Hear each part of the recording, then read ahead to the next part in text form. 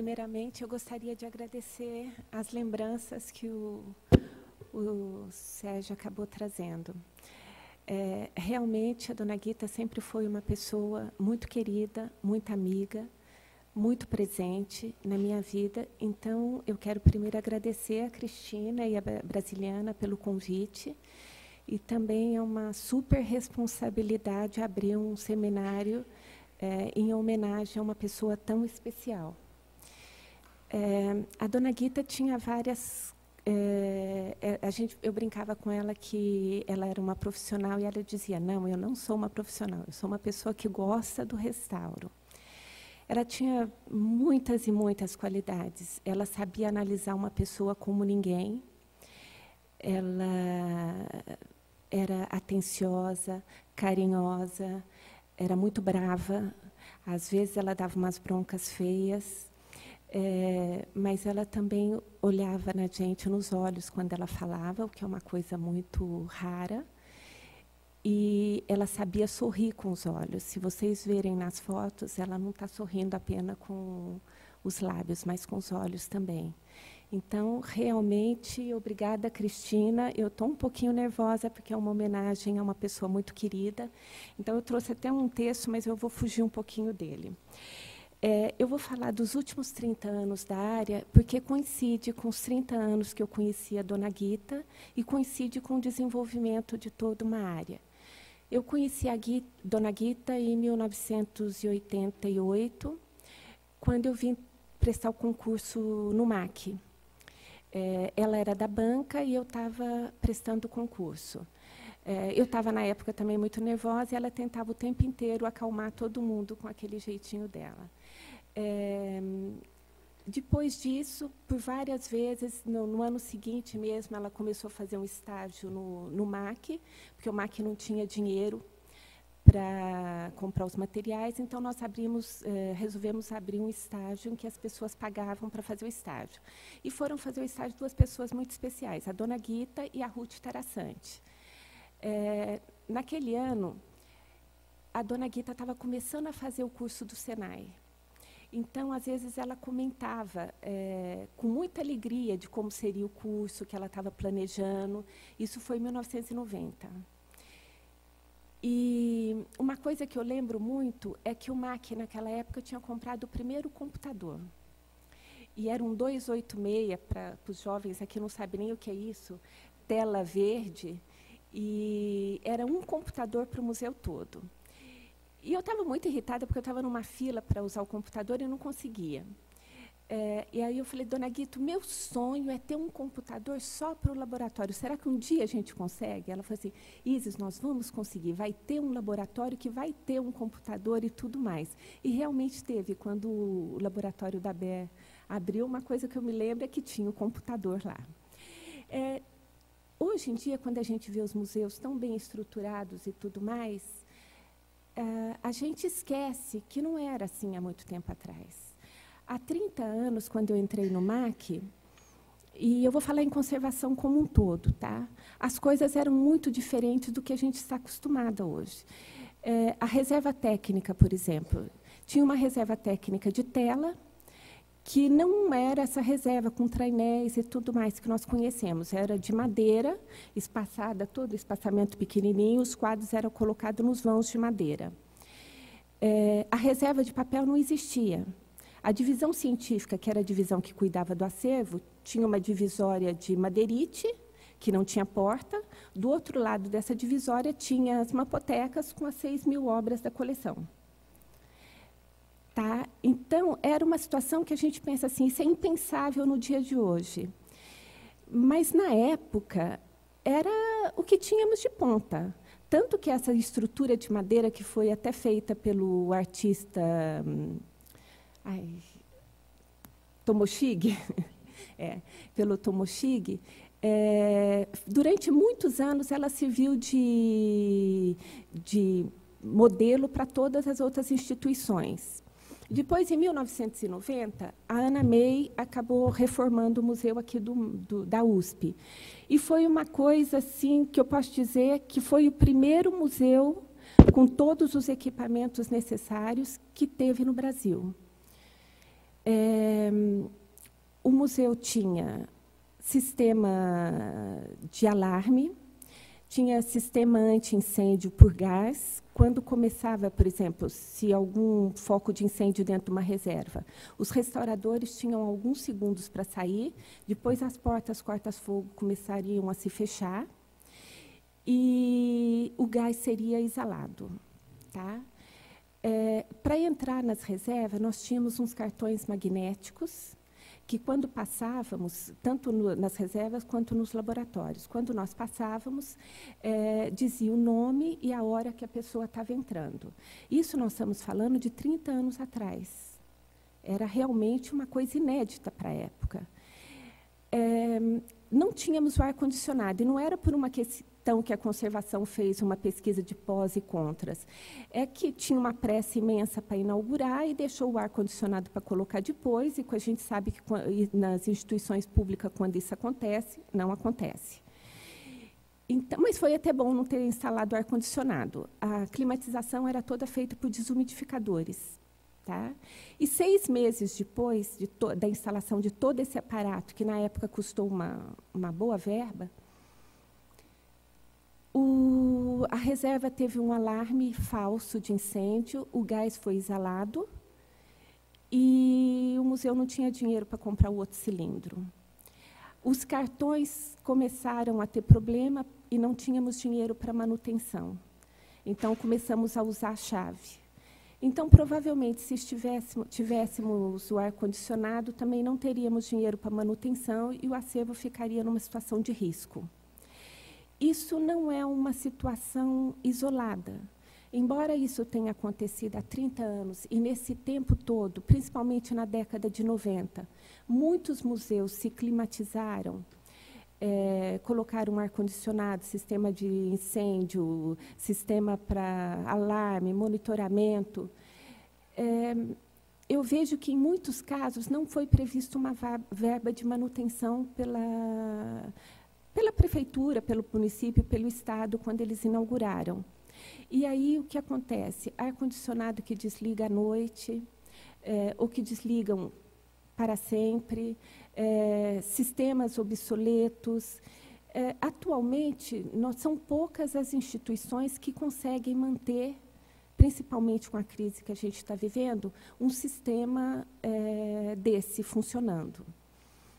É, saindo um pouco, uma coisa que o MAC deixou de muito bom e que poucas pessoas sabem é que, na época, quando foi feita a reserva aqui em 1990, é, não tinha esses trainéis de metal. A gente conhecia os trainéis pelas publicações. Outro dia, conversando com a Eugênia do MASP, ela me falou que, quando ela entrou em 75 no MASP, a primeira sala do museu de reserva tinha os trainéis tá? mas que o Bard havia mandado fazer no serralheiro. Então, nós não tínhamos uma firma que fizesse. Como a Security estava vendendo as mapotecas para o MAC, nós pedimos para a Security e a Security fez os trainéis, os primeiros trainéis sobre a orientação das restauradoras de tela, que era a Magali e a Florence. Depois disso, a Security lógico, os primeiros do MAC, teve alguns erros que as meninas consertaram, e quando os outros museus começaram a comprar, os trainéis já não tinham eh, os problemas que tinham inicialmente. Os problemas eram, era duro de puxar um pouco, e o espaçamento, como era o Museu de Arte Contemporânea, elas imaginaram que a, as obras pudessem ter uma, uma, espessura maior e o espaçamento era grande. Então, em vez de caber 10 trainéis, a gente colocava cinco o que não era uma coisa positiva. É, depois, em 2001, o MAC passou por uma nova reforma, foi colocado ar-condicionado, mas não trouxe nada excepcional assim de informação para a área. Em relação aos cursos, quando eu cheguei aqui na, em 1988, aqui em São Paulo, é, existiam apenas. Eu vinha de um laboratório, eu vou falar um pouco de laboratório, que é a minha área de conforto. Eu vinha de um laboratório em Brasília. É, em 83, eu saí do Brasil, fiz o curso. Quando eu voltei, eu fui trabalhar em Brasília no Laboratório de Conservação e Restauro de Livros e Documentos da Fundação Petrônio Portela, do Ministério da Justiça. Esse é um laboratório que poucas pessoas conhecem, mas é um laboratório realmente que, até hoje, eu considero ele insuperável. Ele tinha 730 metros, nós, é, foi feito no período da ditadura, em 1981. É, ele foi construído para restaurar os 150 mil livros do Ministério da Justiça. É, e, para isso, nós tínhamos vários setores. Tinha o setor de controle, que todos os livros que entravam, eles eram dava baixa, dava entrada e tudo mais. Depois passava para os restauradores. Os restauradores, por incrível que pareça, não restauravam. Eles analisavam, desmontavam, viam que o livro precisava, preenchia uma ficha e mandava para os outros setores que iriam fazer o trabalho de acordo com a especificação do restaurador. Aí, normalmente, ia para o setor de higienização, depois ia para o setor de químico, de química, é, ou para o setor de fumigação, quando tinha algum ataque biológico. O setor de química fazia todos os testes e era dirigido por uma química. É, depois do setor de química, ele ia para a reintegração, se ele tivesse partes faltantes. Tinha reintegração mecânica e a reintegração manual. A reintegração mecânica era feita pela MOP, a máquina obturadora de papel. É, depois ele ia para o setor de encadenação, que podia ser encadenação de época ou encadenação comercial. E depois voltava para o restaurador ver se estava tudo certo e iria para frente. É, e o laboratório, no final, acho que foi em 95, ele começou a receber estagiário. Vieram pessoas de outros estados da América Latina e também, naquela época, nós não tínhamos as importações. O mercado era fechado. Então, era muito difícil você conseguir material. Em vista disso, o laboratório resolveu comprar uma máquina holandesa. Para quem não sabe, a holandesa é uma máquina para fazer papel. Quem desenhou e construiu era uma micro holandesa, mas tudo bem. É, foi o IPT, que também foi para lá para instalar a máquina é, e para dar o treinamento necessário. A gente pensava em fazer papel é, filtro e papel japonês, porque era muito difícil a importação. Nós começamos até uma pesquisa com polpa de banana. Mas depois, no ano seguinte, eu saí para fazer um estágio fora. Quando eu voltei, o laboratório é, tinham encerrado o laboratório.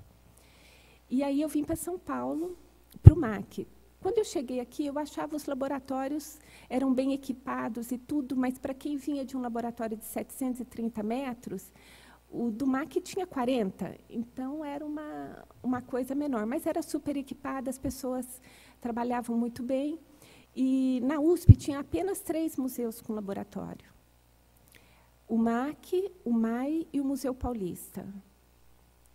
Fora da USP, tinha um laboratório de papel muito bom, que era o da Biblioteca Mário de Andrade.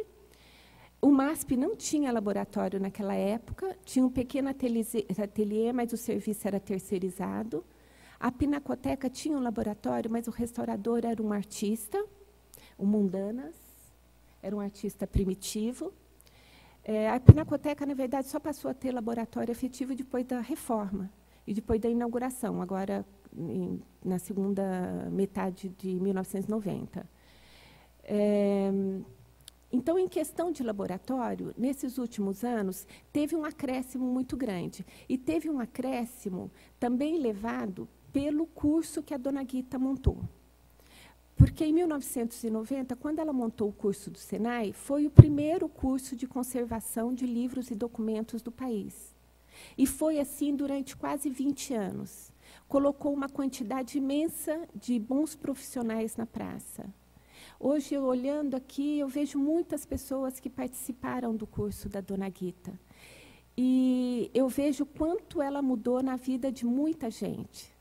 Porque hoje as pessoas talvez não fossem restauradoras, não tivessem fazendo o trabalho que estão, se não tivessem passado por um curso que lá atrás ela percebeu que era muito importante para a área é, com a formação desse pessoal, muitos laboratórios começaram a abrir. Mas quando eu olho para trás também, eu vejo que o laboratório de Brasília era realmente um ponto fora da curva. Porque quantos laboratórios a gente conhece? Os laboratórios que, que foram criados, eles tinham equipamento e tinham profissionais. Mas não, tinha não tem uma equipe mista. Quantos a gente conhece que tem um químico cuidando do setor de banhos? Né? Então, é, a área evoluiu, evoluiu, mas eu acho que a gente deixou algumas coisinhas para trás na pressa de crescer. Né? É, outro fato também que foi muito relevante para a conservação das obras nesses anos é, foi a questão de transporte e exposição. Quando eu vim para São Paulo, as obras eram colocadas em passepatur que eram feitas de papelão ou papel duplex. Nós não tínhamos o papel neutro que hoje se acha com uma naturalidade imensa. Foi apenas com a abertura do mercado em 1990 que começaram, a João Marie do Brasil foi a primeira que começou a importar os papéis. É, e a partir daí a gente começou a fazer o Passepartout, que o MAC também, nesse ponto, ele foi pioneiro, ele não inventou, ele foi apenas pioneiro, que foi aqueles Passepartout de dois elementos, que atrás vem o Passepartout e na frente tem a janela, com tamanhos padrões. Porque a gente tinha a bibliografia, que era umas xerox que, de cursos que a gente havia participado, fora e que falava dessa montagem, nós resolvemos fazê-la. É, e que é utilizada até hoje porque é uma montagem internacional. Com a abertura do mercado e tudo mais, nós começamos a fazer os nossos trabalhos mais em sintonia com o que era feito fora do Brasil, o que foi um grande ganho para a área. Tá? É, com, aí teve a questão dos papéis, que começamos as importações, isso evoluiu demais o setor de restauro, porque a gente só tinha acesso aos produtos nacionais, e os produtos nacionais nem sempre são de utilização museológica, então a gente fazia o que dava dentro do possível. É, também lembro que quando, chega, quando o MAC contratou as primeiras restauradoras, que éramos nós, né, a gente começou a mudar alguma coisa, e teve muito atrito com os outros setores tinha, por exemplo, o setor de montagem, a gente fala, tem que usar luva. E eles falavam, e tinha uma resistência grande, porque eles falavam, isso não é coisa de homem. E todo mundo que chegava também começava a rir quando via eles de luvinha branca segurando o quadro. Era uma situação. Tinha gente até que pediu para sair do setor de montagem porque se recusava a usar a luva.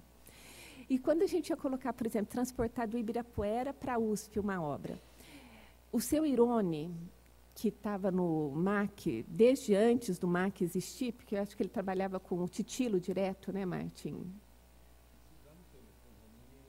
É.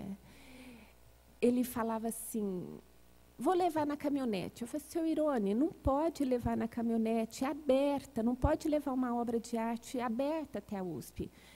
Mas quanta frescura!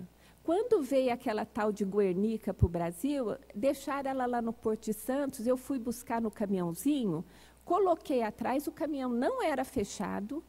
Quando eu subi a serra, o tempo estava muito fechado. Eu rezei para não chover, que senão iam falar, iam me xingar. É, e não aconteceu nada. Eu estava outro dia olhando as reportagens, pode não ter acontecido nada, mas que o caminhão chegou cheio, com a roda cheio de barro aqui na, na, na Bienal, chegou. Isso está lá na documentação da Bienal. Então, para vocês verem o quanto a área se modificou nesses, nesses últimos anos. E também o quanto é, que a gente tem sempre que aprender e conversar com tanto com o passado, tanto para decidir o que vai ser feito do futuro. O MAC, por exemplo, antes de ter o laboratório, ele também, quem restaurava para o MAC eram os artistas. O, o restaurador mor do, do MAC, o que mais restaurou foi o Tomoshige. Ele restaurou Chagall, que ele me contou. Ele restaurou Chagall, restaurou o Calder, restaurou uma série, os franceses quase todos. Tá? E ele era outro, outro dia eu estava olhando lá no MAC as obras, ele era muito bom, porque não dá para ver onde foi que ele restaurou, não. Então, sabe, era uma, realmente uma outra realidade. Em relação aos cursos, em 1988, quando eu entrei, haviam apenas três cursos no Brasil. O do SECOR, que ainda não era a nível de especialização, era técnico, qualquer um podia fazer, não precisava ter curso superior.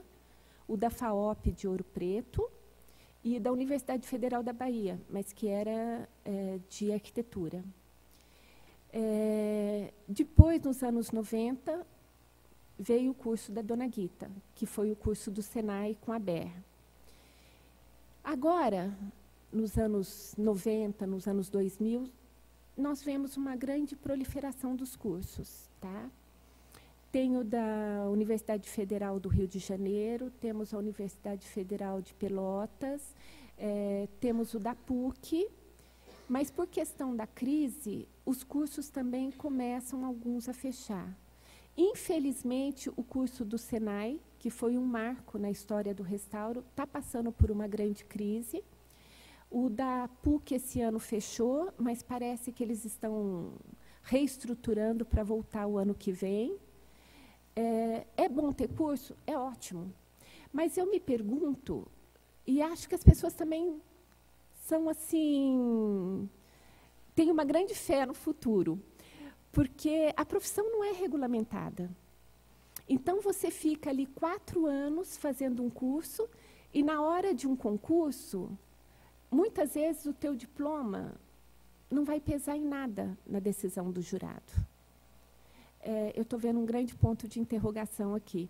Mas quando eu entrei na USP, em 88, e quando eu estava na USP também, é, eu participei de várias bancas.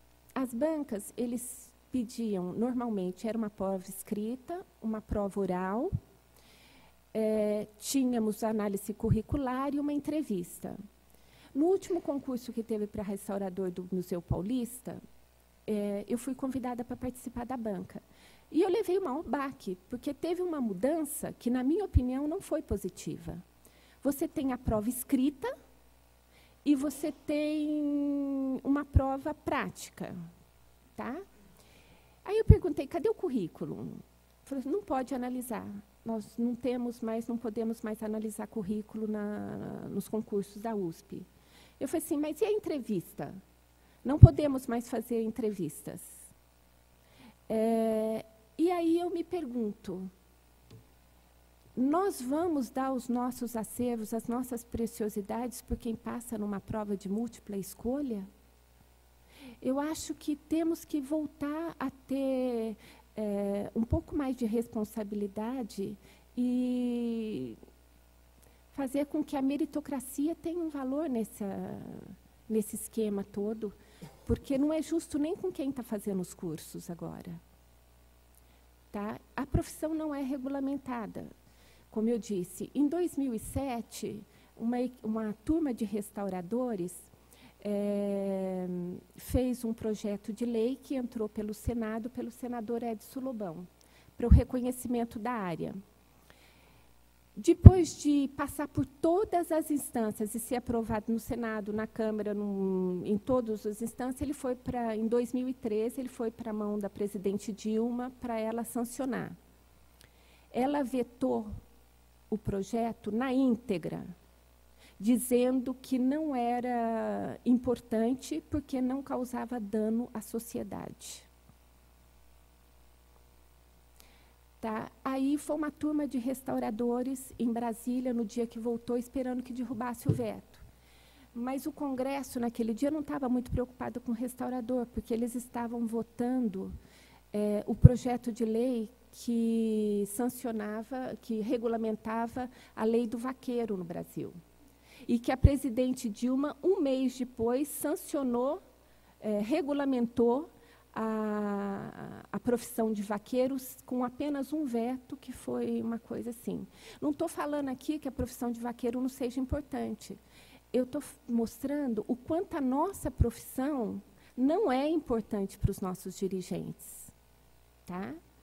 É, muita coisa que a gente conseguiu durante esses anos todos foi por uma, uma vontade pessoal de muitas pessoas e por a existência de uma associação que foi ímpar na, na construção dessa, dessa nova fase da, da conservação, que foi a Fundação Vitae. Tá? Para muitas pessoas aqui que não conheceram a Fundação Vitae, ela fechou as portas já há uns 10 anos. Ela patrocinou o laboratório do MAC, o laboratório do MASP, o laboratório de N lugares, traduziu muitos livros para a área de conservação e restauro, principalmente aqueles 53 é, publicações que foram traduzidas na década de 1990 pela Ingrid Beck foi a Fundação Vita e junto com a Mello Foundation. E foi a partir dessa publicação que a área muda um pouco o conceito de restauração para preservação. Tá? Que as pessoas começaram a ver que mais importante do que fazer era preservar para não fazer. Né? É, a Vita, a gente fazia projeto para a Vita e como restaurador não precisava ser professor doutor, então, ela compreendia, ela falava a nossa língua. Tá? Ela pagou bolsa para muitas pessoas fazerem cursos fora. Eu mesma fui fazer um curso de Química na Inglaterra, um curso pequeno, pago pela Vita. É, ela foi de uma importância fundamental para o desenvolvimento e estrutura da área. Tá? E foi uma pena quando ela encerrou as portas. É, bom, gente. Ah, esqueci de falar, como a gente vê a restauração hoje. Hoje, olhando para. Eu vejo muitas pessoas com muita vontade de fazer as coisas, não vejo nenhuma vontade institucional. Tá? É, por exemplo, dentro de um museu, sim, mas num guarda-chuva maior, eu não vejo essa, essa vontade. É, podemos dizer que a última década foi uma década talvez marcada por muitas incertezas. Depois que a presidente Dilma não assinou a regulamentação da profissão, foi como um balde de água fria para muitos conservadores. É, muita gente desistiu de lutar e entregou os pontos. Isso no Brasil todo. E essa entregar os pontos é uma coisa que você às vezes sente um pouquinho na, no, na conversa que você tem com os seus pares. É, quanto ao futuro da restauração, tem um teórico que escreveu um livro no ano de 2000, 1905, ou seja, há mais de 100 anos atrás, é, foi o Hegel, e ele sempre dizia o seguinte, que as próximas décadas, ou seja, até 1950, seria a década em que o valor de, de antiguidade prevaleceria sobre os demais valores. Ele estava errado. Porque o século XX todo foi o que prevaleceu foi o valor de novidade. O que é o valor de novidade? É aquele valor que você está sempre restaurando a obra para mantê-la atual ao seu tempo.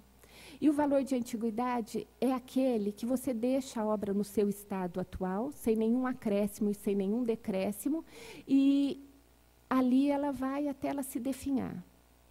Tá? Lógico que no valor de antiguidade você pode controlar alguns fatores ambientais para que a degradação seja mais lenta, mas você não pode intervir no objeto. Ele estava errado, como eu disse, no século XX. Mas no século XXI, eu acho que ele está muito atual principalmente quando a gente está falando de acervo bibliográfico. Porque aqui na Brasiliana mesmo, nós temos aqui é, a digitalização dos livros. Quando você começa a digitalizar, o livro perde um valor que é essencial e que faz com que ele seja restaurado, que é o valor de uso. Se ele não vai ser mais usado, ele não vai mais precisar passar por tantas intervenções, porque ele vai rasgar menos, vai quebrar menos. Se ele não vai ser mais esse valor, então você vai dar ao livro o valor de antiguidade. E você só vai aceitar, uh, acessar o objeto uh, digitalizado. Esse eu acho que é um final para toda a área de conservação de livro. O valor de antiguidade vai prevalecer para todos os livros, na minha opinião e os livros serão guardados nas reservas, bem acondicionados e só vistos quando tem uma extrema necessidade. Tá? Isso, se você for ver para as outras áreas, também pode acontecer para a área de museu. A gente está vendo a digitalização, a que ponto que chega a digitalização 3D. A juventude hoje já não é a juventude que nós éramos. Outro dia eu estava no museu e tinha umas crianças, e a criança, o quadro estava na frente da criança, e a criança estava olhando o quadro no iPad. Ela não estava olhando no original. Eles não têm mais esse relacionamento com o original que nós temos. Tá? Então, provavelmente, as visitas no museu vão ser pagas por algum Bitcoin, sei lá, e você coloca o, um óculos e faz uma visita virtual sem sair da sua casa. Tá? E aí a restauração como fica? A restauração vai assumir um valor de antiguidade, vai ser tudo muito bem guardado. Tá? E vocês vão me perguntar, vai acabar a restauração? Não, eu não acho que vai uh, acabar. Porque sempre vai ter o mercado de arte, ele tem leis próprias. Tá? Que muitas delas eu não concordo, mas ele tem uma lei própria. Né? Uma outra coisa que aconteceu muito nesse, nesses últimos anos é que a área deixou de ser uma área extremamente manual para ser um campo é, teórico-crítico. Tá? Infelizmente, nós ainda não passamos essa, essa ideia para os nossos dirigentes. Tá? Então, eles ainda nos tratam como apenas uma capacidade manual para executar alguns trabalhos. Tá? É, antigamente, quando eu comecei, por exemplo, quando você via um durex, durex mancha, então você tem que tirar. Um buraco, buraco não era para estar tá ali, então você tem que tampar. Tá? Um rasgo, você consolida. Hoje em dia, você para pensa e fala: será que eu devo retirar? Por que eu devo retirar? Aqui na, na Brasiliana tem um exemplo clássico. Tem aqui vários caderninhos da Dona Guita. A Dona Guita era restauradora. Quando ela ia fazer o curso, ela pegava amostras de papel, amostra de cor e tudo mais, e colava nos caderninhos dela. Muito desses caderninhos ela colava com durex, ela passava cola branca. É, Agora, você pegar um caderno daquele que o durex está amarelo, tá? Você deve retirar? Só porque o durex estraga? A dona Guita, ela tinha papel japonês, ela tinha cola neutra. Se ela não colou com a cola neutra, é porque ela não queria. Então, nós temos que respeitar os elementos que ela condicionou naquilo ali, porque além do, do conteúdo do livro, ele é válido, porque conta uma história de uma pessoa, conta como uma pessoa encarava a conservação, como ela, é, muitas vezes, através desses cadernos, você pode ter uma leitura de uma época, de uma pessoa, se, se, eu retiro tudo isso e colo com cola neutra, eu separo os elementos de ferro que tem ali, porque vão oxidar o papel, eu estou descaracterizando tudo. Eu acho que essa é a época em que a gente está começando a pensar. Tá? E está tendo um pensamento mais crítico diante das coisas. Quando eu digo do, do futuro e que pode acontecer isso, eu estou fazendo uma suposição. Porque também amanhã pode acontecer uma coisa que desconstrói todas as nossas suposições. E apenas para encerrar, eu gostaria de colocar é, uma frase do Danto, quando ele diz que, por mais que a gente imagine o futuro, ele não nos pertence. A gente não vai conseguir atingir. Tá? Então, o futuro não nos pertence. Vamos deixar para ele. Muito obrigada, gente. Desculpa alguma coisa.